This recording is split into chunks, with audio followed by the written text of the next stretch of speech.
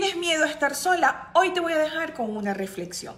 Para disfrutar de un buen vino, en una copa llena de té es necesario que botes el té, limpies la copa y sirvas el vino.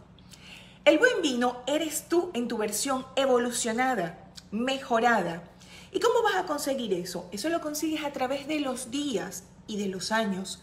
Por eso son los buenos vinos, porque mientras más años tengan, mejor se ponen. Entonces, es necesario que tomes la decisión. ¿Tienes miedo? Da el primer paso, aunque tengas miedo. Y el paso es para conocerte, para saber cuáles son tus fortalezas y trabajar en ellas. Así tus habilidades se van a ir atenuando.